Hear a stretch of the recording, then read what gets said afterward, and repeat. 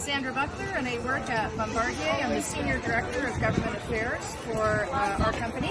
And of course, we're here today for Play on the Runway, but really what today is all about for us is aerospace.